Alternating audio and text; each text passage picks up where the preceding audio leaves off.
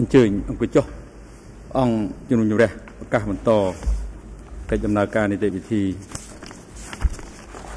សមនការហើយជាកិច្ចបន្តនេះអង្គជំរះគុលវេទិកាទៅមេធាវី Studentski ដែលជាមេធាវីតំណាងឲ្យដើមម្ដងរដ្ឋបាលនីរូបនេះដើម្បីមានឱកាសក្នុងការតាំងសំណួរបញ្ជាក់បន្ថែមសូមអញ្ជើញ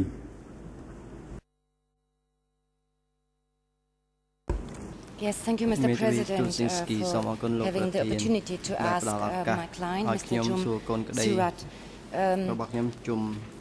but before I do this, I only would like to um, ask the President or the Chamber uh, to get in future events of any objections of the defense or other parties to um, our clients that uh, we get the right to be heard because I tried to respond the second time and could not respond anymore to the uh, intervention by the Defense uh, Council and only to clarify that the English word coward is ហើយខ្ញុំ uh, the សូមបញ្ជាក់ uh, ថា has in the is in the trans, uh, French translation នៅក្នុង uh, ការ the បក word ប្រែ lâche eh, បារាំង uh, គឺ that is the word that is used in this poem and that was quoted by the accused. Uh, I would like to uh, present now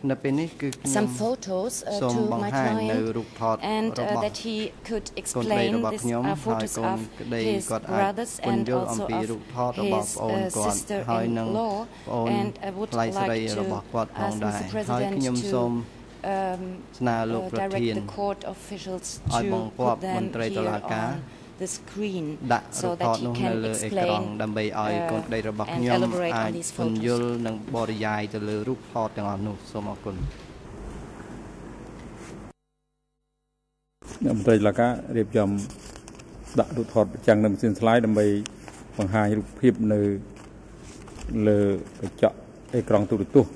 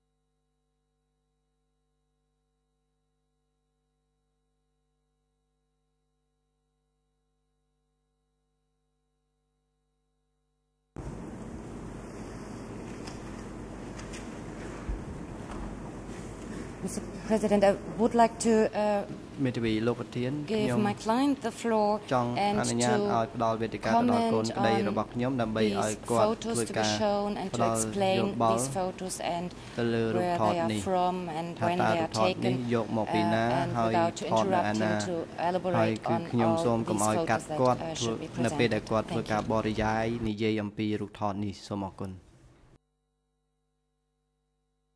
អញ្ជើញលោក ជុំស៊ីរ៉ាត់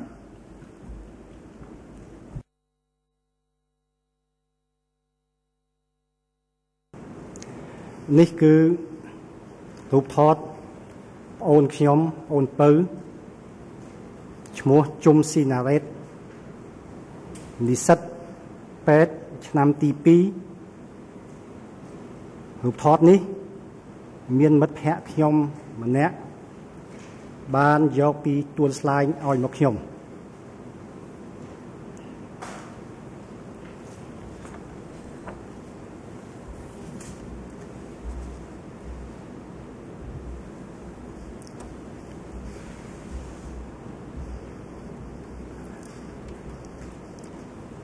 នេះគឺជុំស៊ីណារ៉េតដែលមិនទាន់បានចូលក្នុងកណ្ដាប់ដៃរបស់ ពួកធ្វើជារនកម្មរបស់លោកកាំងកេដៀវឲ្យដូច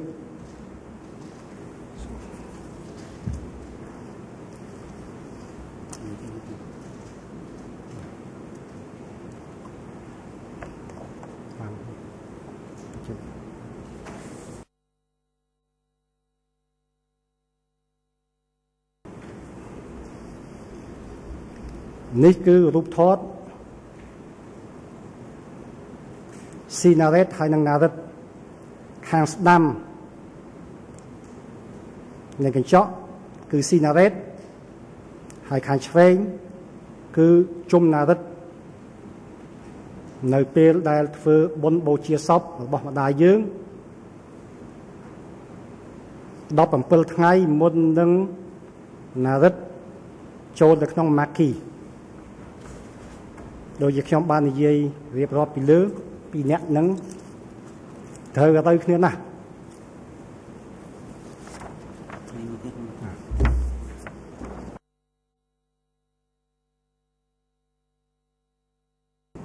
ធំទៅលើកហូបថតមក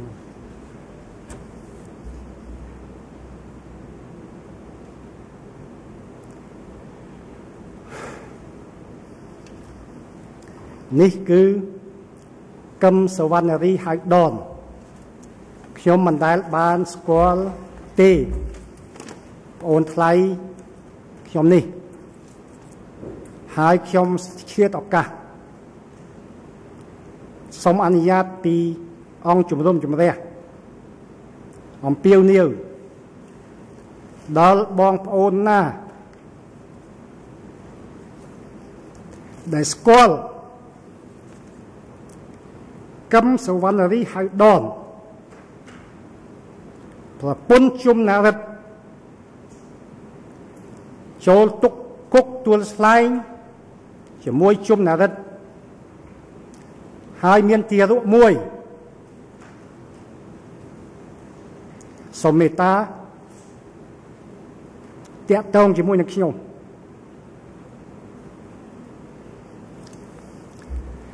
តាម រយៈ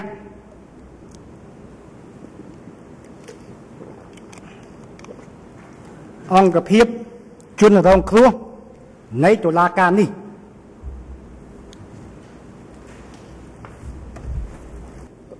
ជប់បញ្ចាំងបញ្ចាំងឯកសារមិញឲ្យបានជប់ជប់បញ្ចាំងឯកសារមិញអសអសឲ្យឃើញអស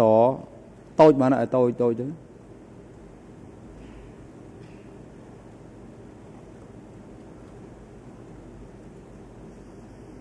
បានហើយដាក់ដាក់មកក្រោម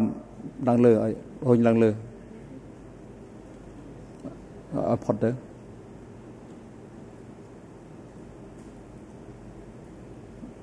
បានបានហើយដកចេញចុះ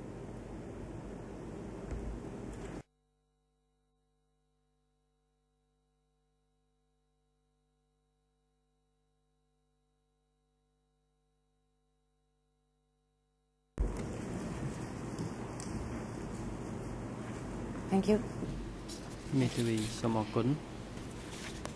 I would like to uh, ask my ខ្ញុំ client, Mr. ច Jum ង់ Sirat, សួរគុណក្តីរបស់ខ្ញុំ Now- ជុំស៊ីរ៉ាត one question គឺចង់សួរសំណួរ And- មួយ um, that is the following. គឺសំណួរដូចតទៅនេះ Um, I would like to know ខ្ញុំ and that ចង់ you ដឹង explain here in this courtroom លោកបានបញ្យល់ហើយនៅក្នុងបន្ what ទប់សវន do ការ you របស់យើង think and how do តើលោ you កគិតយ៉ាងម៉េច um, ហើយ cope with តើលោកបាន the excuses of the accused ធ្វើការប្រឈមទៅ and នឹង what it means for ការសុំ you. ទោសរបស់លោកយ៉ាងម៉េចថាលោកយល់យ៉ាងម៉េចដែរចំពោះការសុំទោសរបស់លោកជនជាប់ចោតហើយតើវាមានន័យយ៉ាងម៉េចចំពោះលោក មុនដំបូងពេលដែលខ្ញុំឮជុំចិត្តជន់ជាប់ចោតសុំទោសខ្ញុំថាខ្ញុំអរណាស់យ៉ាងហោចណាស់ក៏ក្នុងអ្នកដែលដឹកនាំកម្ពុជាប្រជាធិបតេយ្យទាំងប្រមាណមានមនុស្សម្នាក់ក្លាហានទទួលខ្ញុំចង់ជឿណាស់នៃការសុំទោសរបស់ជនជាប់ចោតនេះ ក៏ប៉ុន្តែដល់ខ្ញុំមកចូលក្នុងអង្គសាវនាការយូរយូរទៅ ទៅជាមានលែងមានជំនឿទៅវិញពីព្រោះខ្ញុំឃើញថាការដែលសុំទោសរបស់ជនជាប់ចោតហ្នឹងអត់មានសត្វសុទ្ធចិត្តទេមិនបានខ្ញុំនិយាយអញ្ចឹងថ្ងៃដែលទី1 31សំទោស 31ខែមីនា2009ជនជាប់ចោតបានធ្វើសេចក្តីថ្លែងការណ៍ដ៏អារារឹកក្នុងនោះខ្ញុំដកសម្ដីក្នុងចរិតរបស់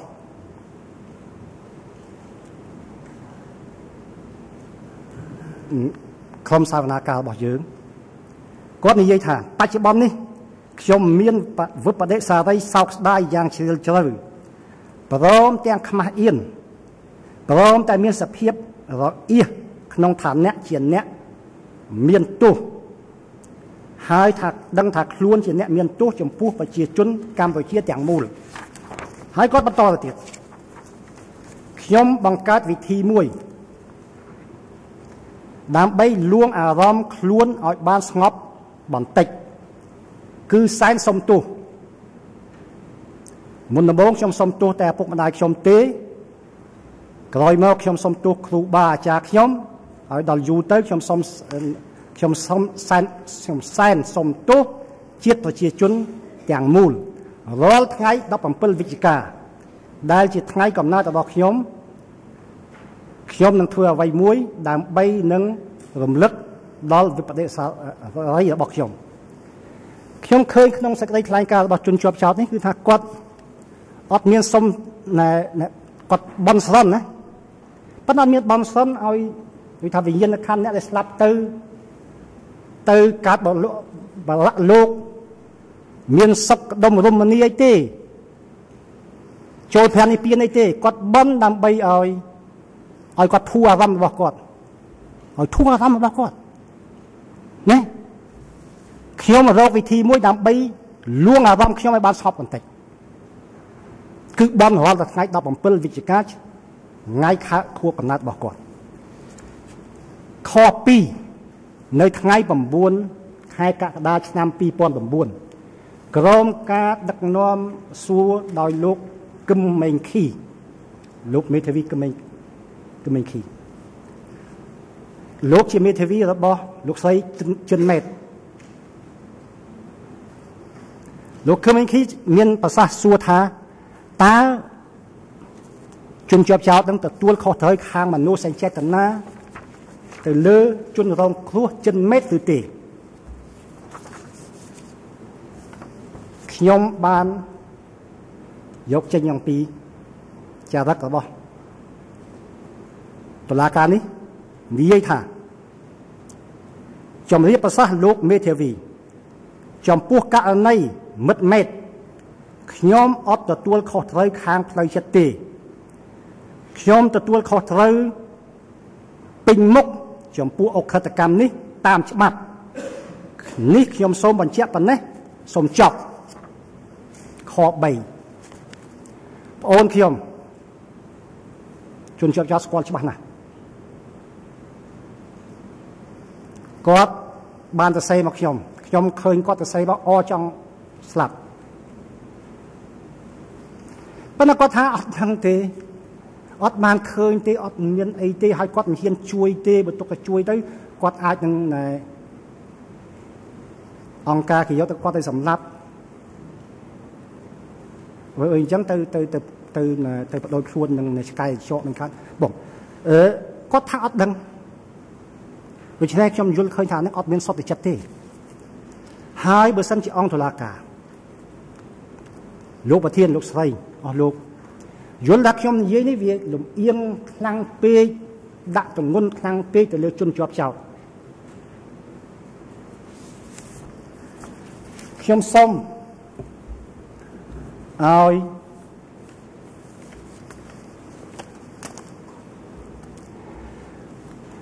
តុលាការអញ្ជើញមើលរបាយការណ៍ របស់វិជ្ជបណ្ឌិតខាងចិត្តសាស្ត្រដែលចុះនៅថ្ងៃ8ខែមេសាឆ្នាំ2008បណ្ឌិតខាងចិត្តសាស្ត្រនោះឈ្មោះ Sironi Gilbo Françoise Sir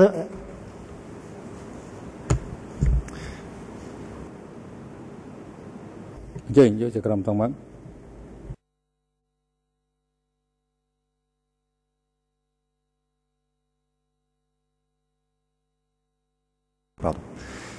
Il me semble D'accord, bah, important de devoir interrompre la partie civile. Il s'agit d'un expert que nous allons entendre សំខាន់ណាស់ ultérieurement. ដែលខ្ញុំត្រូវស្កា Donc ត់ il នៅ ne ពេល paraît នេះ pas ដោយសារតែ possible que à លោ ce កដែល stade គាត់ du លើកឡើង débat, នោះ tant គឺ qu'on ជា n'a អ្នក pas ជំ entendu នាញ cet ដែលយើង expert, ស្ដាប់ពេលក្រោយ euh, ដូច្នេះហើយ ce នៅក្នុង document ដំណាក់ puisse កាល être នេះ cité à l'audience. គឺយើងមិនអាចលើកឡើងអំពីរបាយការណ៍របស់គាត់នោះទេដែលគាត់នឹងមកផ្ដល់នៅដល់សកម្មកម្មចំពោះយើងនៅពេលខាងមុខនេះដូច្នេះយើងមិនអាចលើកឡើងអំពីរបាយការណ៍នោះទេសូមអរគុណ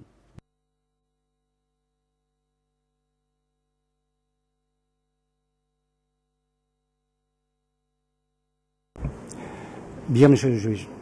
សូមអរគុណខ្ញុំមិនបាច់និយាយពីខទី3អញ្ចឹង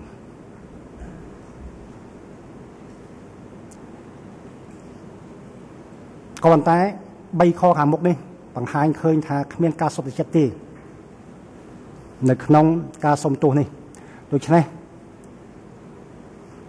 ក្នុងនាមអូនខ្ញុំ ជុំស៊ីណារ៉េតជុំណារិតកឹមសវណ្ណរីហៅដននិងក្មួយខ្ញុំខ្ញុំប្រកាសមុខតុលាការថាខ្ញុំមិនអើពើជាដាច់ខាតលើពាក្យសុំទោស ដែលអត់មានសុទ្ធចិត្តនេះខ្ញុំមកតុលាការនេះ ដើម្បីទាមទារយកយុត្តិធម៌ហើយយុត្តិធម៌នេះมันអាចនឹងដាក់ដោយឡែកចេញអំពីការពិតទេរហូតដល់ពេលនេះ34ឆ្នាំហើយខ្ញុំអត់បានទទួលការពិតបន្តិចសោះសូមអរគុណ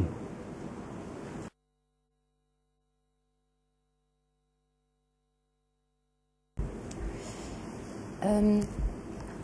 មេធាវីស្ទុតស៊ី I ង have ស្គី no further ខ្ញុំ questions ពុំមាន uh, សំណួរ to Mr. បន្ Jum ថែម Sirat, ទៀតចង់សួរលោកជុំស៊ីរ៉ាតនោះទេ but uh, ប៉ុន្តែ I would like to ខ្ញុំ thank you very much សូមថ្លែងអំណរ for គុណលោកយ៉ាង coming ជ្រាលជ្រៅ and ដែលលោកបានអ appearing ញ្ជើ here before ញ the ចូល chamber មុខក្នុងអង្គ and សកម្មការរបស់ contributing យើងហើយបាន here ចូលរួម and taking undertaking all ធ្វើសេចក្តី these ថ្លែង efforts ដោយ to ប្រឹងប្រែងយ៉ាងខ្លាំងក្លា um, preserve the memory and ហើយ to ព្យាយាមរំលឹក respond ដល់វិញ្ញាណ to ក្ខន្ធ the បងប្អូនរបស់លោក um, behavior or the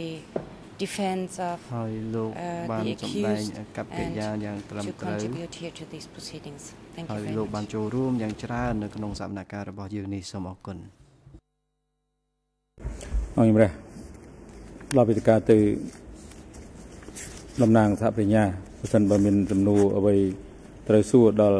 ដើមម្ដងរដ្ឋបវេនីរូបនេះសូមអញ្ជើញ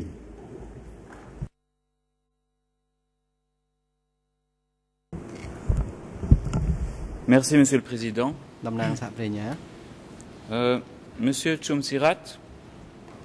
je vous remercie pour Sans votre aucun déclaration aucun. courageuse. សូមអរគុណ Euh, il me លោក semble que dans, dans នៅ votre ការផ្ដល់ déclaration, នៅ vous avez សេចក្តី beaucoup ថ្លែងដ៏មាន insisté ភាពក្លាហាន sur les éléments d'information que vous avez pu obtenir grâce à vos recherches concernant votre frère Naret et sa femme. Par contre, concernant votre frère Sinaret, je me demandais si vous pouviez nous donner des informations concernant les éléments que vous avez pu obtenir concernant son arrestation. Un savoir quand, pourquoi, par qui il a été arrêté. Est-ce que cette arrestation était liée à celle de votre autre frère, Narit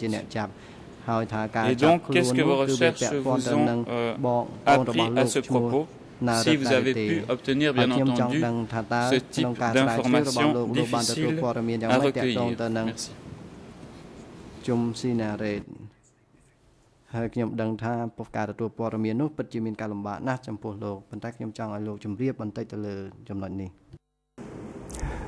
សូមជម្រាបលោកសហភាពព្រះអាញាចំពោះបងអូនខ្ញុំជុំស៊ីណារ៉េតនេះខ្ញុំមិនសូវអ្វីបទមានការស្រាវជ្រាវយ៉ាងម៉េចក៏ដោយក៏មិនសូវបានព័ត៌មានអីដែរមានតែរូបថតមួយនឹងដែលជាមិត្តភ័ក្តិម្នាក់ បានយកពីអឺមន្ទីរស21យកមកឲ្យខ្ញុំអត់កាលខ្ញុំទៅស21ខែតុលាឆ្នាំ1993ខ្ញុំឃើញតែឈ្មោះខ្ញុំអត់ឃើញថ្ងៃចូលខ្ញុំអត់ឃើញថ្ងៃស្លាប់ហើយកឹមសវណ្ណរីក៏អញ្ចឹងដែរហើយ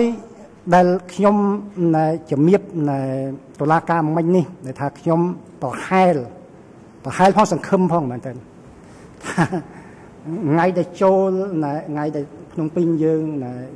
ធ្លាក់ថ្ងៃ17មេសាឆ្នាំ1975ហ្នឹងខ្ញុំដឹងថាស៊ីណារ៉េតនៅភ្នំពេញពីព្រោះខ្ញុំបានទទួលសម្បត្តិមួយពីគាត់ពេលដែលបារាំងនាំគ្នាចេញទៅដូច្នេះពេលបារាំងចេញទៅពេលដាច់ខែមេសាគាត់នៅភ្នំពេញហើយគេណែជំនះជនណែណែប្រជាជនភ្នំពេញថ្ងៃ17រួចទៅហើយដូច្នេះគាត់នៅភ្នំពេញ ហើយដល់ពេលណារឹតចូលមកតាមខ្ញុំខ្ញុំបានដំណឹងនេះតាមពេជ្រលឹមខួនពេជ្រលឹមខួនហ្នឹងជាណែអ្នកតលាក់ក្របបែកលើវិមានសេនាប្រមុខលន់នល់ថ្ងៃ17ខែមីនាឆ្នាំ1973ហើយហើយតលាក់ក្របបែកទៅគាត់រត់ទៅចូលនៅខាងពេលនោះគេហៅតំបន់រំដោះនៅខាងកាចេះរួចដល់បានណែឈ្នះ អីហើយពេលថ្ងៃ17មេសាឆ្នាំ1975ហើយគាត់ចូលមកវិញហើយគាត់អ្នកដើរណែបើកអកណែហេលីកូបទ័រអធម្មភាគតិចនៃណែកម្ពុជាប្រជាធិបតេយ្យហើយគាត់បានក្រោយមកគាត់បានលួចហេលីកូបទ័រហ្នឹងអធម្មភាគតិចហ្នឹងរត់ចេញទៅទៀតទៅដល់អ៊ូតាប៉ាវនៅប្រទេសសៀមហើយហើយគាត់បានសិទ្ធិជ្រកកោននៅប្រទេសបារាំង ខ្ញុំបានជួបគាត់នៅឆ្នាំ1978ពេលនោះនៅអូស្ឡូគេមានធ្វើរៀបចំគេហៅថា Cambodia hearing គេចង់ហៅអ្នកដែលភៀសខ្លួនទាំងប្រមាណទៅស្ដាប់ថាតើស្ថានភាពនៅនៅប្រទេសកម្ពុជាយ៉ាងម៉េចខ្លះនោះគឺខែមេសាឆ្នាំ1978ហើយពេលនោះមានជនភៀសខ្លួនប្រហែលជា20នាក់ហើយមានអ្នកខាងថា expert គេហៅថា expert នោះ អ្នកជំនាញមាន Jean Lacouture អ្នកកសែតដ៏ល្បីល្បាញមួយ មាន François Ponceau ដែលបានសរសេរសភៅនៅ Cambodge Année Zero មាន Bernard Hamel ហើយមានខ្លួនខ្ញុំដែរខ្លួនខ្ញុំនេះជាអ្នកអ្នកបកប្រែភាសាមិនមែនជាអ្នកជំនាញអីគេទេហើយពេលនោះមានពេជ្រលំខួនគេហៅដែរហើយពេជ្រលំខួនពេលនោះស្ទាតប្រាប់ខ្ញុំថាប្អូនធ្លាប់ស្គាល់ប្អូននៅជាមួយហ៊ូនឹមព្រោះពេជ្រលំខួនចូលទៅណែ ប្រៃហ្នឹងចូលទៅម៉ាគីហ្នឹងនៅជាមួយហ៊ូនឹមដែរហើយថាប្អូនហ្នឹងនៅជាមួយហ៊ូនឹមហើយហើយអញ្ចឹងហើយបាទខ្ញុំដឹងថាណែប្អូនខ្ញុំចូលមកភ្នំពេញឆ្នាំ17ណែថ្ងៃ17ណែមេសាឆ្នាំ1975ដល់ចូលមកហើយហើយដល់ខ្ញុំស្រាវជ្រាវទៅឃើញថាទៅជាប់គុកណែស21ថ្ងៃ29តុលាឆ្នាំ1976 ហើយខ្ញុំសន្និដ្ឋានទេនេះជាប្រហែលរបស់ខ្ញុំទេនេះជាការកាត់ស្មានរបស់ខ្ញុំថាណារិទ្ធហើយស៊ីណារិទ្ធហ្នឹងហើយបានជួបគ្នាពេលនោះខ្ញុំអូសង្ឃឹមថាបួងសួងឲ្យបានជួបគ្នាមុននឹងស្លាប់ទៅនេះសូមលោកជិះ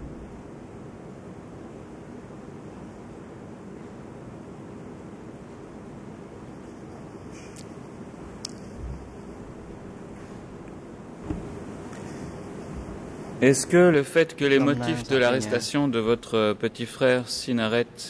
restent obscurs vous affecte particulièrement encore aujourd'hui et ajoute à cette souffrance le fait de ne pas savoir depuis si longtemps pourquoi il, aurait été, il a été arrêté et exécuté à S21. ដូ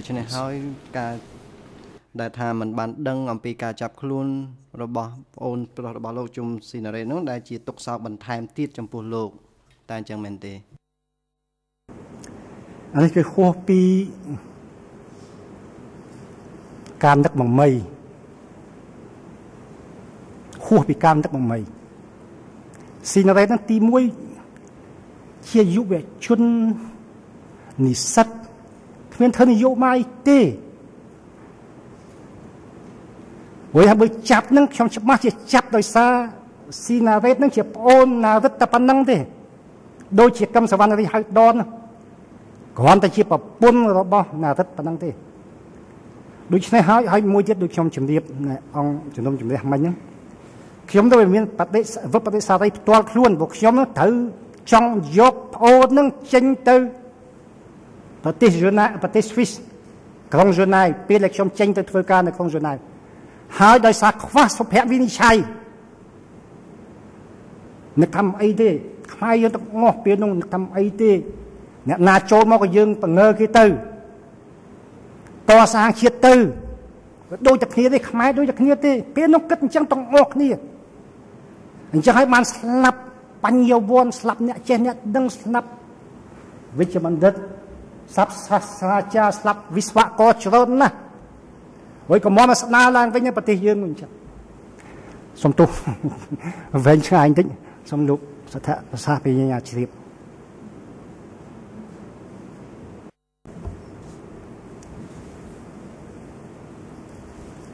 Je n'ai plus d'autres questions. Merci, euh, Monsieur Chumsirat. ខ្ញុំពុំមានសំណួរបន្ថែមទៀតនោះទេសូមអរគុណច្រើនលោកជុំស៊ីរ៉ាត់អង្គជំរះផ្ដល់វេទិកាទៅមេធាវីការពារក្តីបើសិនបើមានសំណួរត្រូវសួរដល់ដើមម្ដងរដ្ឋវិនិច្ឆ័យនេះសូមអញ្ជើញបាទ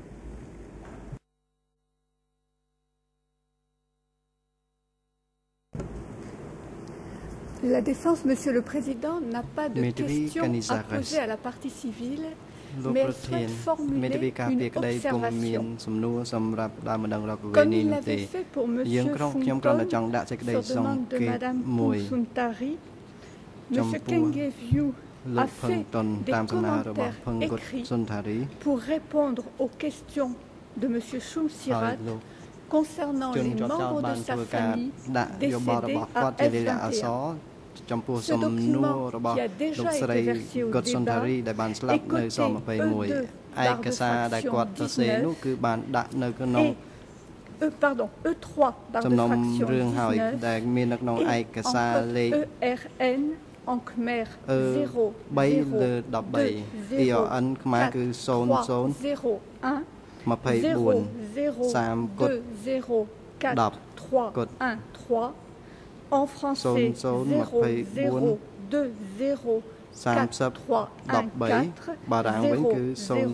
2 0 4 24 2 30 et en anglais 0 0 2 0ដល់លេខ00 24 30គុត22អង់គ្លេសគឺ00 22 22 87 86 ហើយមួយទៀតគឺលេខ00 8 22 87 88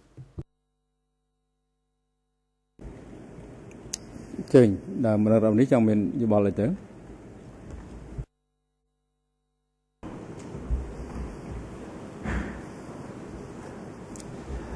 អឺសូមអរគុណលោកប្រធាន លោកស្រីមេធាវីមានប្រសាសន៍មិញថាសម្បត្តិដែលលោកកាំងកៃហៀវហៅដូចបានឆ្លើយនឹងសំណួររបស់ខ្ញុំខ្ញុំបានទទួលមែនហើយក៏ខ្ញុំក៏បានជម្រាបអង្គសាវនាការមិញដែរក្នុងសម្បត្តិនោះគាត់និយាយថាគាត់ស្គាល់ប្អូនខ្ញុំទាំងពីរនាក់ទាំងអស់ប៉ុន្តែថាខ្ញុំចង់ដឹងមិនមែនថាគាត់ស្គាល់ស្គាល់ពីណាគាត់ដឹងថាគាត់ស្គាល់ដែរ ហើយគាត់ចង់ខ្ញុំចង់ដឹងថាប្អូនខ្ញុំស្លាប់នៅក្នុងកលៈទេសៈយ៉ាងម៉េចនៅកន្លែងណាខ្ញុំដឹងណារិតច្បាស់ជានៅទួលស្លាយហ្នឹងព្រោះឆាក់ស្លាប់នៅថ្ងៃទី1ខែទីទី1ខែ1ឆ្នាំ1977ព្រោះកាលនោះជើងឯងមិនទាន់មានទេខ្ញុំដឹងប៉ុន្តែប្អូនខ្ញុំពីរនាក់ទៀតតើនៅប្រហែលខែនៅក្នុងទួលស្លាយហ្នឹង នៅដូចបងភួងតុន6ខែឬមួយក៏នៅ1ខែឬមួយក៏នៅ10ខែនេះខ្ញុំចង់ដឹងអាហ្នឹងខ្ញុំមិនមែនចង់ដឹងថាគាត់ស្គាល់ប្អូនខ្ញុំពីណាគាត់ដឹងគាត់ស្គាល់ណាខ្ញុំក៏ដឹងគាត់ស្គាល់ណាហើយចង់គាត់ថាគាត់សុំទោសពីណាគាត់នឹងសុំសុំទោសប៉ុន្តែខ្ញុំឃើញនិយាយមិញសុំទោសនេះអត់មានសុទ្ធទេខ្ញុំមិនមែនចង់ដឹងចឹងខ្ញុំចង់ដឹងកាលៈទេសៈនៃការស្លាប់របស់ប្អូនខ្ញុំទាំង3នាក់ហើយនឹងក្មួយខ្ញុំ ដូច្នេះហើយមិនយកណែណែណែហៅថាឯកសារមិនបានការនិយាយចឹងចុះសំទោសលោកធានអមមិញនេះឯកសារដែលគាត់ឆ្លើយតបគឺកាលពីម្សិលមិញខាងកូនស្រីច្បងរបស់លោកគ្រូផឹងតុនហ្នឹងគាត់សុំឲ្យមានការបង្ហាញហើយអង្គអឺ ជនជាប់ចោតបាននិយាយគាត់នឹងប្រឹងប្រែងដើម្បីបង្ហាញអំពីអ្វីដែលគាត់បានស្រាវជ្រាវឃើញហើយនឹងឆ្លើយតបទៅនឹងសំណុំពររបស់កូនស្រីរបស់ព្រឹងតុនហើយឥឡូវនេះគាត់ថាបានទទួលឯកសារនេះហើយបានន័យថាជនជាប់ចោតបានរៀបរៀងបានឆ្លើយតបទៅឲ្យដាក់ទេចំណែកឯលោកគឺអង្គជំរះនឹងផ្ដល់ឱកាសដែលឡែករឿងមិនយើងដែលឡែកទេមិនមែនរឿងនេះទេរឿងនេះ យើងនឹងឲ្យ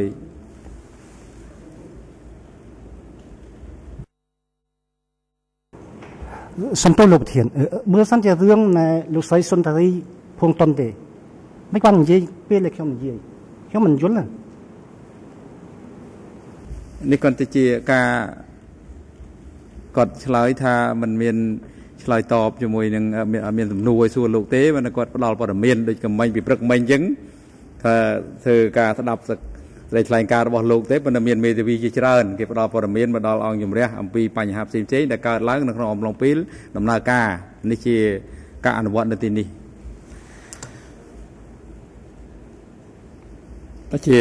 កិច្ចបន្តអង្គជំរះផ្ដល់ឱកាសដល់ជនជាប់ចោតអាចឡើងធ្វើការកត់សម្គាល់ចំពោះ សេចក្តីថ្លែងការណ៍របស់ដើមបដិងរដ្ឋបវេនីរូបនេះហើយអង្គជំរះសូមជម្រាបថានេះជាសិទ្ធិអន្តរប្រោតអាចធ្វើដីថ្លែងការណ៍កត់សម្គាល់ទៅលើដីថ្លែងការណ៍របស់ដើមបដិងរដ្ឋបវេនីក៏បានឬក៏មិនធ្វើក៏បានដែរប៉ុន្តែនេះឱកាសដើម្បីអង្គជំរះនៅតែផ្ដល់ដល់ជនចាប់ចោតសូមអញ្ជើញ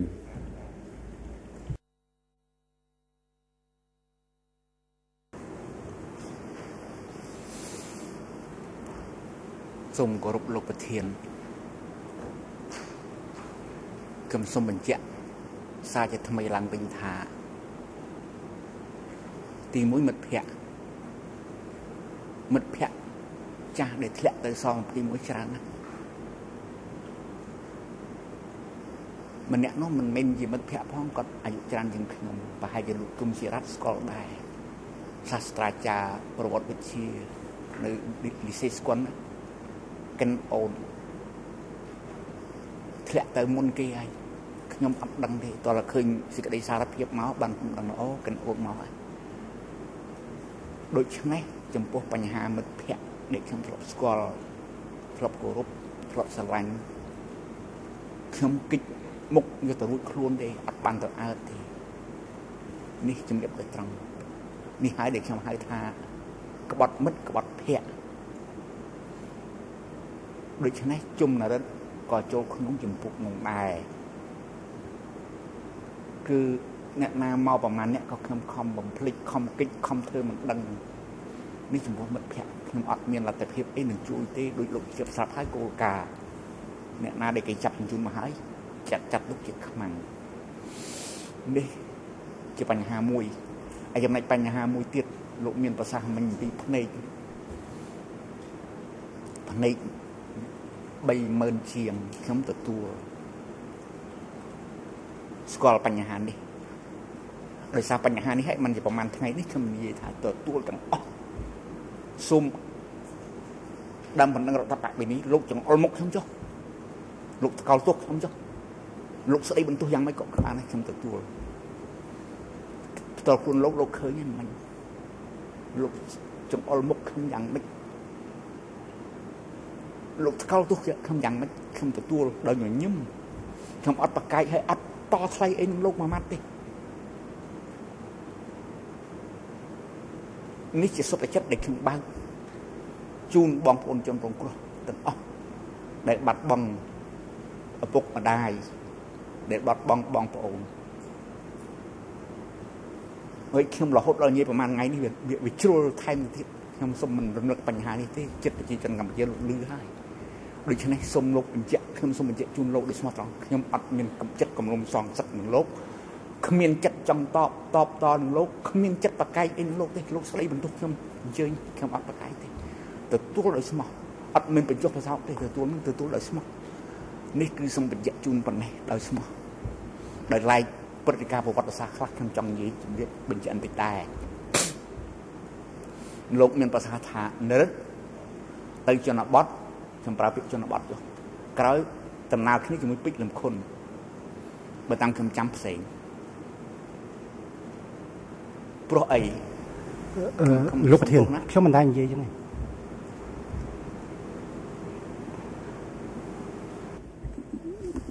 ត្រឹមនឹងបានចិនចាប់ចោតឥឡូវកុំឲ្យមានបញ្ហាបញ្ឈប់នៅការកត់សម្គាល់របស់ជនចាប់ចោតត្រឹមនេះ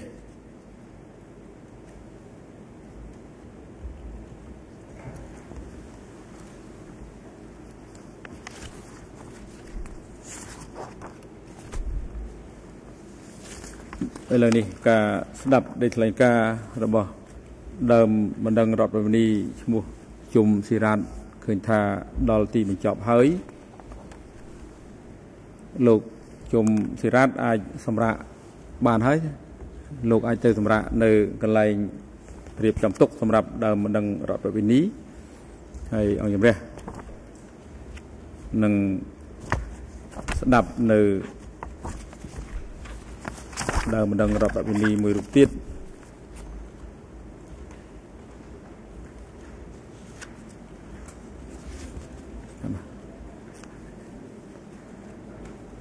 អញ្ចឹង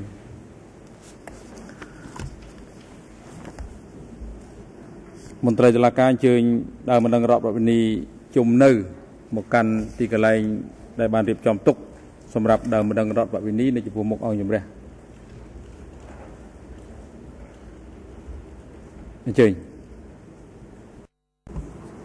Monsieur le Président, je me permets d'intervenir à ce moment parce que je pense que M. Kengeviou avait d'autres observations à formuler que la première qu'il a tenté de formuler. Et je souhaiterais que la parole lui soit redonnée pour qu'il formule ses observations. Il me paraît important à un état de la procédure que l'on puisse savoir ce que l'accusé a à dire. ឲ្យគាត់លើកឡើងទៅលើបញ្ហានេះហើយយើងដឹងហើយថានៅក្នុងនីតិវិធីនេះយើងចង់ដឹងទៅលើអ្វីដែលជនជាប់ចោតគាត់ចង់លើកឡើងសូមអនុញ្ញាតពីលោកប្រធាន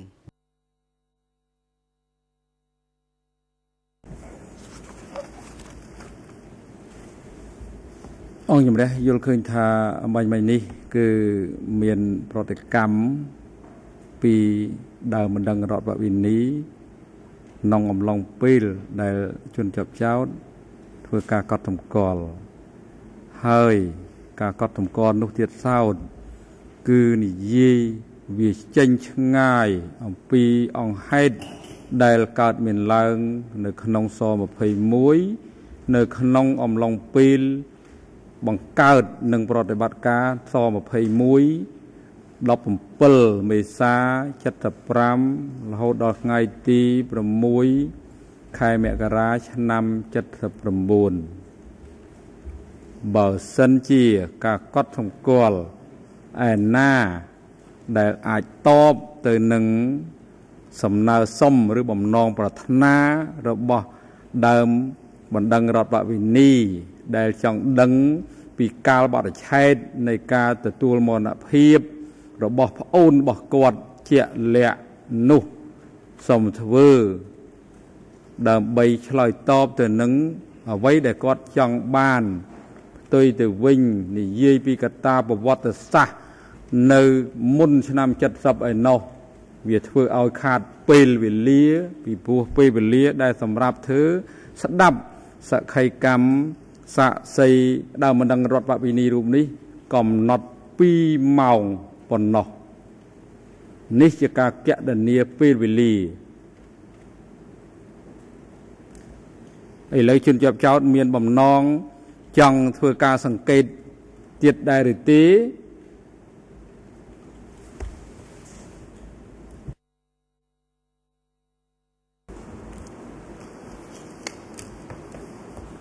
ជំរាបប្រសាសន៍លោកប្រធាន អំបញ្ញមិញដែលខ្ញុំនិយាយនេះគ្រាន់តែជាសេចក្តីផ្ដើមបញ្ញាជនដែលរត់ទៅជនបទចំនួននោះមាន6នាក់នៅពេលដែលធ្វើបាតកម្មប្រឆាំងលំណុល 6នាក់នេះខ្ញុំរត់ឈ្មោះដូចតទៅទី1គឺមុំណៃឆ្នាំ1973ទី2គឺជុំនរិទ្ធទី3គឺនួនខឿនទី4គឺព្រំសំអា ទី5គឺកងសុខុន ហើយទី6គឺទួនសុផល្លានេះខ្ញុំនៅចាំទាំងអស់ខ្ញុំតាមដានបញ្ហានេះទាំងអស់ដោយឡែកនៅពេលដែលខ្ញុំស្រាវជ្រាវក្នុងបញ្ជីនេះខ្ញុំឃើញឈ្មោះ ដូចតទៅខ្ញុំឃើញឈ្មោះនួនខឿនហើយនឹងទួនសផល្លាតែបាត់ឈ្មោះព្រំសំអាមិនឃើញហើយបាត់ឈ្មោះជុនរិទ្ធដោយឡែកឈ្មោះកងសុខុនខ្ញុំដឹងយូរហើយមេប្រាប់ខ្ញុំលោកគ្រូសំសិនប្រាប់ខ្ញុំធ្វើអត្តឃាតនៅក្រសួងអប់រំដែលអ្នកបងយន្តចាតកាន់កាប់ ក្នុងបញ្ជីរបស់ខ្ញុំនេះអត់មានឃើញឈ្មោះជុំរិទ្ធទេក៏ប៉ុន្តែវាមានឯង fish អង្គដូចណែមានស្លាកក្បាត់មួយនិយាយអំពីកឹមសវណ្ណរីខ្ញុំថាបើកឹមសវណ្ណរីទៅដល់នោះហើយពិតជាជុំរិទ្ធទៅហើយដូច្នេះហើយបានខ្ញុំទៅសេក្នុងថាខ្ញុំជឿការស្រាវជ្រាវរបស់លោកជុំស៊ីរ៉ាត់អំពីមរណភាពរបស់ប្អូនគាត់ប្អូនថ្លៃគាត់និងក្មួយគាត់ នៅស21ឯចំណែកជុំស៊ីរ៉េតនៅក្នុងបញ្ជីនេះទៅសេថាពេទ្យមកពីសហគមន៍ដូច្នេះខ្ញុំគិតថាមនុស្សពីរនាក់នេះចាប់ដោយមូលហេតុផ្សេងគ្នាឯចំណែកជុំនរិទ្ធគឺចាប់ដោយចម្លើយអ្នកផ្សេងទៀតរួមទាំងចម្លើយហ៊ូនីមផងឯចំណែកជុំស៊ីរ៉ាត់ប្រហែលជាចាប់មកដោយចម្លើយអ្នកឯណាផ្សេងទៀតទេមិនមែនមកជាមួយគ្នាទេអានេះជាការវិភាគរបស់ខ្ញុំជូន តាមឯកសារដែលនៅសល់មានជូនលោកជុំស៊ីរ៉ាត់តែប៉ុណ្ណឹងទេខ្ញុំចង់បញ្ជាក់ប៉ុណ្ណឹងដូច្នេះអត់មានចង់ប្រកែកប៉ុណ្ណឹងអីទេបញ្ញាជនដែលទៅជនបទ6នាក់ហ្នឹងខ្ញុំទៅដេកជាមួយមួយយប់ខ្ញុំទៅសេក្នុងនឹងហើយនេះសូមបញ្ជាក់ជូនលោកជុំស៊ីរ៉ាត់ប៉ុណ្ណេះលោកអាចឆ្លើយតបនឹងបំណងរបស់គាត់ទេគាត់ចង់បំណងជាក់លាក់របស់គាត់គឺគាត់ចង់ដឹងកលប្រវត្តិនៃការចាប់ខ្លួនប្អូនរបស់គាត់ហើយនឹងការពីពេល ពេលឃុំខ្លួនរហូតដល់ពេលយកទៅកំទេចឬក៏យកទៅសម្លាប់នោះនេះជាបំណងដែលគាត់ប៉ងចង់ដឹងជាក់លាក់ហើយបើអាចឆ្លើយថាទីណាបានទៀតក៏ច្បាស់ដែរពីព្រោះដើមមនោរមនេះភាកច្រើនចង់ដឹងថាគ្រួសាច់ញាតិលោហិតរបស់គាត់នឹងទៅកំតិចនៅទីកន្លែងណា ក្នុងគោលបំណងដើម្បីធ្វើបុណ្យតាមប្រពៃណីតាមជំនឿសាសនា ពុទ្ធសាសនាដែលគេប្រើប្រាស់នៅក្នុងប្រទេសកម្ពុជា គេគោរពនៅក្នុងប្រទេសកម្ពុជានេះ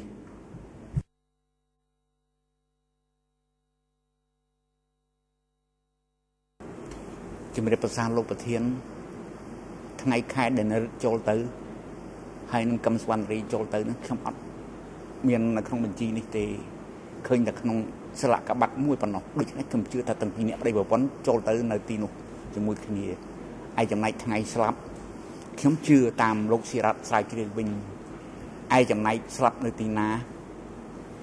ខ្ញុំជាក់ស្ដែងធ្វើមេគេមែនតែក្តាប់រឿងច្បាស់លាស់បែបនេះមិនបាន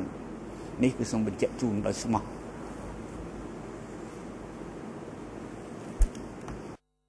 ដល់គឺចុះ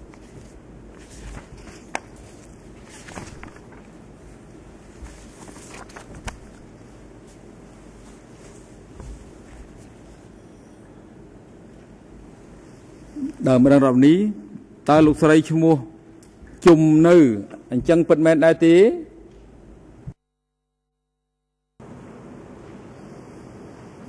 យ៉ាងតឡាការជាទីគោរពនាងខ្ញុំឈ្មោះជុំនៅពិតមែនលោកស្រីជុំនៅតើលោកស្រីមានអាយុប៉ុន្មានឆ្នាំហើយ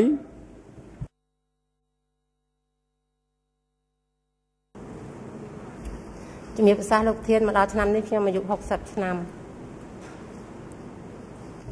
លោកស្រីកើតនៅទីកន្លែងណាដែរនិយាយអំពីស្រុកកំណើតហ្នឹងតើនឹងខ្ញុំសូមបញ្ជាក់ជូនលោកប្រធានឲ្យច្បាស់ថាខ្ញុំមានស្រុកកំណើត2គឺស្រុកកំណើតទី1គឺខាងម្ដាយគឺនៅឯភូមិព្រះអាស័យឃុំជាខ្លាំងស្រុកព្រៃវែងខេត្តព្រៃវែងហើយស្រុកកំណើតខាងឪពុកខ្ញុំនៅឯឃុំភូមិវាលឃុំកំពង់លាវនៅទីក្រុងនឹងខេត្តព្រៃវែងអញ្ចឹងចង់បញ្ជាក់ជូនលោកប្រធានឲ្យច្បាស់កុំឲ្យថាខ្ញុំមានអត្តសញ្ញាណមិនច្បាស់ព្រោះក្នុងតញ្ញាណប័ណ្ណផងខ្ញុំខ្ញុំដាក់ភូមិកំណើតនៅភូមិវាលគឺនៅខាងពុកហើយក្នុងប្រវត្តិរូបសង្ខេបស21ខ្ញុំដាក់នៅខាងម្ដាយចា៎សពថ្ងៃនេះលោកស្រីរស់នៅទីកន្លែងណាចាជំរាបសាស ពថ្ងៃខ្ញុំរស់នៅភូមិអាយការ៉ាមភូមិជើងទឹកស្រុកនឹងស្រុកកំពង់លាវខេត្តព្រៃវែងចាលោកស្រីប្រកបមុខរបររកស៊ីធ្វើអ្វីដែរចាជំរាបសាខ្ញុំនៅផ្ទះដាំដំណាំលោកក្នុងអំឡុងពេលចន្លោះពីឆ្នាំពីថ្ងៃទី17ខែមេសា75 ដល់ថ្ងៃទី6ខែមករាឆ្នាំ79តើលោកស្រីរស់នៅទីកន្លែងណា ហើយលោកស្រីធ្វើអ្វីក្នុងចន្លោះឆ្នាំ1975មកដល់6មករាឆ្នាំ79គឺ ក្នុងនោះខ្ញុំចង់លម្អិតបន្តិចពីពីដើមបន្តិចព្រោះនៅ ឆ្នាំបែក75 17មេសាឆ្នាំ1975ហ្នឹងគឺខ្ញុំរស់នៅក្នុងអង្គភាពយោធានៅយោធានារីភូមិភាគបូព៌ាចាហើយដល់ពេលយើងបែកភ្នំពេញថ្ងៃ10 7មេសាហ្នឹងបានត្រូវអង្គការឲ្យមករស់នៅ ទីក្រុងភ្នំពេញ ក្នុងក្រសួងភស្តុភារសេនាធិការហើយនៅថ្ងៃទី12ខែ8ឆ្នាំ77បានត្រូវចាប់ខ្លួនមកមន្ទីរស21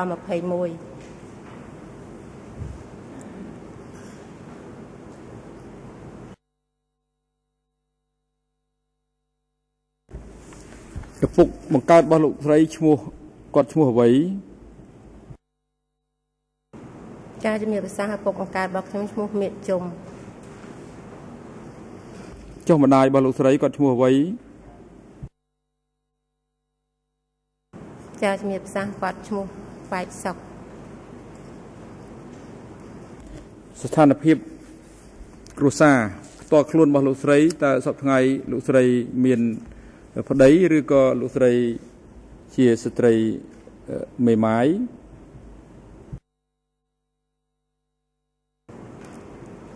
សប្តាហ៍ថ្ងៃខ្ញុំជាស្ត្រីមេម៉ាយដោយក្រោយពីឆ្នាំ79មកគឺខ្ញុំបានយកគ្រួសារថ្មីមួយទៀតក៏បានកូនមួយហើយ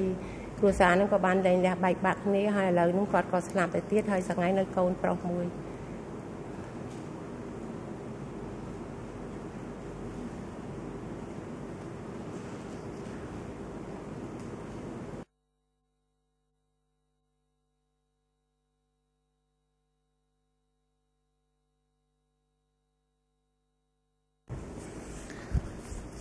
អង្គជំរះផ្ដល់វិទ្យការទៅមេធាវីតំណាងដើមម្ដងរដ្ឋវនីក្រុម4ដើម្បីឡើងធ្វើសេចក្តីថ្លែងការណ៍សង្ខេបបង្ហាញអំពីអត្តសញ្ញាណរបស់ដើមម្ដងរដ្ឋវនីឈ្មោះជំនៅហេតុដែលនាំឲ្យឈ្មោះជំនៅ បានតាំងខ្លួនជាដើមម្ដងរដ្ឋវនីក្នុងរឿងក្តីនេះទំនាក់ទំនងនៃការប្តឹងទាមទារសំណងដើមម្ដងរដ្ឋវនីឈ្មោះជំនៅទៅនឹងអង្គហេតុបទអក្រិតដែលចោទប្រកាន់ចំពោះជនជាប់ចោទ ពាក់ព័ន្ធទៅនឹងអង្គហេតុដែលកើតឡើងនៅក្នុងមន្ទីរសន្តិសុខស21ក្នុងអំឡុងពេលកម្ពុជាប្រជាធិបតេយ្យថ្ងៃទី17ខែមេសា75រហូតដល់ថ្ងៃទី6ខែមករាឆ្នាំ79ផោះតាងនានាដែលមានដើម្បីគ្រប់គ្រងដល់ការប្តឹងទាមទារសំណងរបស់ដើមម្ដងរដ្ឋបាលនីឈ្មោះជំនៅសូមអញ្ជើញ Mr. President, I only would like to make one remark uh, concerning the translation in English. I have uh, heard that there was a translation when uh, Madame Juno spoke that uh, it was she was sent to S21 it was obviously S24 in Khmer uh, could, could it be clarified uh, and maybe in the French translation I think it is the same than S21 in the translation ភាសាប៉ុណ្ណឹងក៏ប្រហែលជាស21ដែរ and or maybe to clarify with uh, the civil party again បញ្ជាក់ជាមួយដើមម្ដងរដ្ឋវិនីដើម្បីឲ្យគាត់បញ្ជាក់ឲ្យច្បាស់ចំណុចនេះក៏បានដែរបាទ ជាភាសាខ្មែរគាត់និយាយថាត21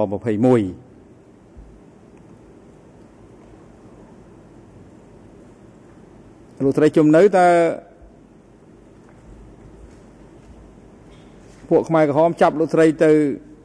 ឃុំខ្លួននៅទីកន្លែងណា នៅស21ឬស24 ជំរាបប្រសាសន៍លោកប្រធាន ពាក្យដែលខ្ញុំនិយាយថាស21នេះគឺខ្ញុំនិយាយតាមឯកសារទេតាមប៉ិតគឺខ្ញុំមិនបានទៅនៅកន្លែងតួស្លែងទេប៉ុន្តែកន្លែងដែលខ្ញុំនៅនឹងវាជាសាខារបស់ស21ចាដំបូងគឺគេចាប់ខ្ញុំទៅនឹងនៅមន្ទីរប្រែកថ្នោតតាខ្មៅនឹងដែលពីសង្គមជាមន្ទីរពេទ្យឈួតចា គឺមិនដល់រយៈពេលមួយថ្ងៃទេដល់ថ្ងៃអាសៀលបានគេបញ្ជូនខ្ញុំទៅស្ទឹងជ្រៅស្ទឹងជ្រៅហ្នឹងគេឲ្យដើរពីមន្ទីរប្រែកថ្នោតហ្នឹងទៅអញ្ចឹងនៅពេលដែលដល់ស្ទឹងជ្រៅហ្នឹងគឺការដែលខ្ញុំទៅហ្នឹងគឺខ្ញុំមានតីពោះផងដែលខ្ញុំបានរៀបការនៅឆ្នាំ76ដែលត្រូវអង្គការរៀបការហើយនៅពេលហ្នឹងខ្ញុំនៅស្ទឹងជ្រៅហ្នឹងតើតែខ្ញុំឆ្លងទលេរួច ហើយបានគេបញ្ជូនខ្ញុំទៅព្រៃសរព្រៃសរហ្នឹងកាលហ្នឹងគេហៅ24ស24ចាហើយដល់ពេល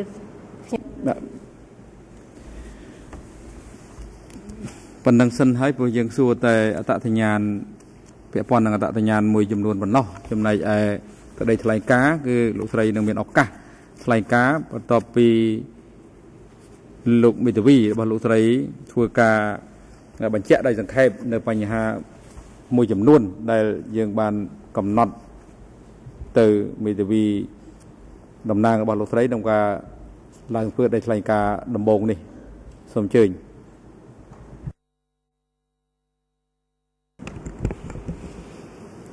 សូមអរគុណខ្ញុំបាទ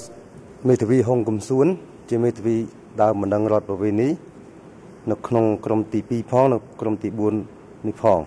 សូមគោរពលោកប្រធាន លោកលោកស្រីក្រុមប្រឹក្សានៃអង្គជំនុំជម្រះវិសាមញ្ញក្នុងតុលាការកម្ពុជាទីគោរពនិងអង្គសវនាការទាំងមូលនៅក្នុងរឿងក្តីនេះកូនក្តីខ្ញុំបាទអ្នកស្រីជុំនៅ ជាជនរងគ្រោះនិងជាដើមបណ្ដឹងរដ្ឋប្រវេនីដែលមានអត្តសញ្ញាណប័ណ្ណសម្គាល់ខ្លួន ដាក់ចូលទៅក្នុងសំណុំរឿងរួចហើយត្រូវបាន អង្គជំនុំជម្រះផ្នែកសហចៅក្រមស៊ើបអង្កេតទទួលស្គាល់ជាដើមបណ្ដឹងរដ្ឋប្រវេណីចុះថ្ងៃទី11ខែសីហាឆ្នាំ2008ហើយដែលមានឯកសារស្ដីអំពីផុសតាំងបញ្ជាក់ថាគាត់ជាជនរងគ្រោះនៅក្នុងមន្ទីរ ស21ដែលក្របដណ្ដប់ទៅលើមន្ទីរស24ដោយគាត់បានរៀបរាប់ជូនអង្គសមនាការបាញ់មិញនេះ នៅក្នុងឯកសារ ERN D25/16/2 ជាភាសាខ្មែរអស់សំទោសលេខ ERN 00 21 13 80និងឯកសារលេខ D25/16/2 ជាជាផុសតាងបញ្ជាក់អំពីការរស់នៅក្នុងមន្ទីរឃុំឃាំងនៃស24ដែលជាសាខារបស់មន្ទីរស21សូមជម្រាបលោកប្រធានផងដែរអ្នកស្រីជំនៅមិនមែនជាជនរងគ្រោះតែម្នាក់ឯងនៅក្នុងពេលនោះទេ គឺក្នុងកំឡុងនោះដែរស្វាមីរបស់អ្នកស្រីម្នាក់ទៀតឈ្មោះនូមឿននូមឿនដែលត្រូវបានពួកខ្មែរក្រហមចាប់ខ្លួនគាត់យកទៅធ្វើទរណកម្មនៅមន្ទីរស21ដែលសប្តាហ៍ហៅថាសារៈមន្ទីរទួលស្លែងនឹងត្រូវបានសម្លាប់ចោលនៅទីនោះ ផងដែរនឹងមួយទៀតគឺតកតងនឹងកូនបង្កើតរបស់អ្នកស្រីជុំនៅផងដែរដែលបានប្រសូតនៅពេលដែលបញ្ជូនគាត់ទៅដល់មន្ទីរស21នឹងបានដាច់ដោះស្គមមានជំងឺរហូតដល់ស្លាប់ទៅទៀតអញ្ចឹងនៅក្នុងរឿងនេះ គឺគាត់ជាជនរងគ្រោះមួយ ស្វាមីរបស់គាត់មួយ និងកូនបង្កើតរបស់គាត់មួយ ដែលជារងទារុណកម្មយ៉ាងធ្ងន់ធ្ងរទាំងផ្លូវកាយផ្លូវចិត្តរហូតបាត់បង់ជីវិតហើយនៅរស់តែអ្នកស្រីចំណងម្នាក់ប៉ុណ្ណោះឯកសារដែលបានដាក់បញ្ជូនដាក់បញ្ចូលទៅក្នុងសំណុំរឿងតកតងនឹងប្តីគាត់ស្វាមីរបស់គាត់ឈ្មោះនូមឿនហៅសែមមាននៅក្នុងបញ្ជីឈ្មោះអ្នកទោសនៃមន្ទីរស21 យើងហៅគុកទួលស្លែងសប្តាហ៍នេះដែលក្នុងបញ្ជីអ្នកទោសចាប់ពីឆ្នាំ1975ដល់ឆ្នាំ1978ក្នុងលេខរៀង6708នៃលេខ EON 01 71 629និងបញ្ជីអ្នកទោស អឺលេខ61នៅក្នុងមន្ទីរស21ដដែល ERN លេខ001 81 657និងឯកសារបញ្ជីអ្នកទោសនៅក្នុងមន្ទីរស21ផងដែរមានលេខ3030 លេខ ERN 00 33 13 75និងឯកសារបន្តទៀតនៅក្នុងមន្ទីរស21ផងដែរដែលមានលេខអ្នកទោស1827មានលេខ ERN 00 33 18 03បញ្ជីមួយទៀតនៃមន្ទីរស21បញ្ជីអ្នកទោសផងដែរមានលេខ3210ដែលមាន ERN 00 33 10គុត76នេះជាឯកសារជាផុសតាងបញ្ជាក់អំពីស្វាមីរបស់អ្នកស្រីជំនៅដែលមានឈ្មោះថាជំមឿនហៅសែម ហើយឯកសារអត្តសញ្ញាណប័ណ្ណប្រជាពលរដ្ឋកម្ពុជាសប្តាហ៍របស់អ្នកស្រីជំនៅដែលដាក់ទៅក្នុងឯកសារហើយនោះមានលេខ ERN 00 21 13 79ហើយឯកសារប្រវត្តិទៅរូបបំបញ្ញមិញខ្ញុំបានបានជម្រាបរួចហើយដែលធ្វើនៅមន្ទីរស21តែ ការពិតគឺនៅមន្ទីរស24ដោយគាត់បានជម្រាបលោកប្រធានបំបញ្ញមិញគឺមានលេខ ERN 00 21 13 8គាត់នៅក្នុងរឿងនេះអ្នកស្រីចំណៅគឺជាជនរងគ្រោះទៀមទាប្តឹងទៀមទាឲ្យរកយុត្តិធម៌ឲ្យគាត់ដោយសារពួកដឹកនាំជាន់ខ្ពស់ និងអ្នកទទួលខុសត្រូវខ្ពស់បំផុតនៃរបបកម្ពុជាប្រជាធិបតេយ្យបានធ្វើទុកបុកម្នេញទាំងរូបកាយទាំងផ្លូវចិត្តនិងសម្លាប់ស្វាមីគាត់និងកូនបង្កើតរបស់គាត់មួយទៀតហើយគាត់នឹងទៀមទាសំណងជំងឺចិត្ត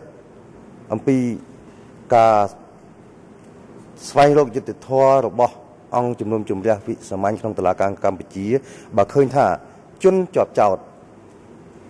មានទោសនៅក្នុងបទចោតទាំងឡាយនេះ គឺអ្នកស្រីនឹងធ្វើការទៀមទាសំណងជំងឺចិត្តនិងសំណងជាសមត្ថភាពនៅពេលចិត្តចុងបញ្ចប់នៃសវនាការលើកទី1នេះហើយបន្តទៅទៀតនេះខ្ញុំបាទក៏សូមជម្រាបលោកប្រធាននិងអង្គសវនាការផងដែរថាអ្នកស្រីជុំនៅ គឺជាជនរងគ្រោះនៅក្នុងរបបកម្ពុជាប្រជាធិបតេយ្យ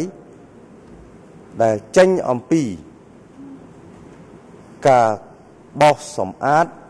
ឬការកំទេចដែលជនចាប់ចោតតែងតែលើកថា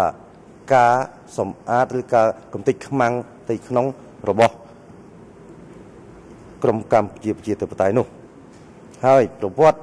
នៃរឿងរ៉ាវទាំងឡាយតេតិនជាមួយនឹងការចូលធ្វើបដិវត្តជាមួយក្រមកម្ពុជាប្រជាធិបតេយ្យមុនឆ្នាំ1975និង ចាប់ពីថ្ងៃទី17មេសា1975រហូតដល់ពេលត្រូវបានអង្គការពួកខ្មែរក្រហមចាប់គាត់ទៅធ្វើទរណកម្មនិងធ្វើទុកធ្វើទោសនោះជាវគ្គទី2និងវគ្គទី3ក្រោយពេលដែលវៀតណាមបានវាចូលរំដោះនៅប្រទេសកម្ពុជាថ្ងៃ7មករាឆ្នាំ1979មកអ្នកស្រីត្រូវបានរងទុកមួយសាទៀតទៅជាមួយនឹងជនជាប់ចោតតែម្ដងរហូតទៅដល់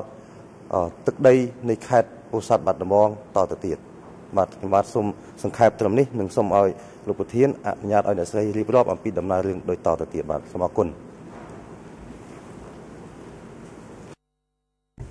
មកឥឡូវនេះដល់ម៉ោងត្រូវសម្រាប់ដើម្បីពិសាអាហារថ្ងៃត្រង់អញ្ចឹងអង្គជំរះឱកាសសម្រាប់ដើម្បីពិសាថ្ងៃត្រង់ហើយដំណើរការធម្មការចាប់បន្តនៅវេលាម៉ោង1:30នាទីរសៀលនេះ លោកស្រីជំនៅ អាចសម្រាប់បានហើយអញ្ជើញលោកស្រីមកកាន់ទីនេះនៅម៉ោង1:30នាទីរសៀលនេះដើម្បីធ្វើសេចក្តីថ្លែងការណ៍អំពីការបដិងទាមទាររបស់លោកស្រីអំពីទុកលំបាករបស់លោកស្រីដែលលោកស្រីជួបប្រទះនៅក្នុងអំឡុងពេលកម្ពុជាប្រជាធិបតេយ្យអនុរិយមន្ទីរឃុំឃាំងឲ្យនាំ ជនជាប់ចោតទៅកាន់បន្ទុករងចាំហើយឲ្យនាំជនជាប់ចោតមកកាន់សាលសម្ដែងការវិញនៅរសៀលនេះឲ្យបានមុនម៉ោង1:30នាទី